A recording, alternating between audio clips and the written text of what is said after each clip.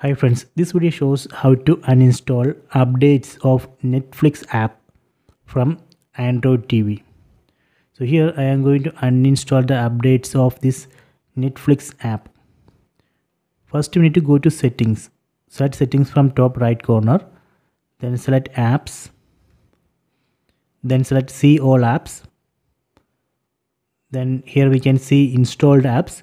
From this list we need to find Netflix select Netflix. Then here we can see uninstall updates. We need to select this option. So before that please check the version. Right now you can see the version is 9.0.0 build 11156 so let me uninstall the updates. Then select ok.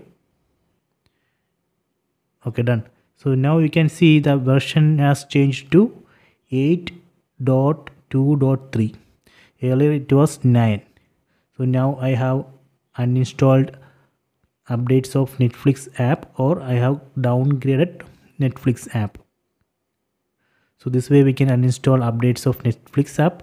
So please try this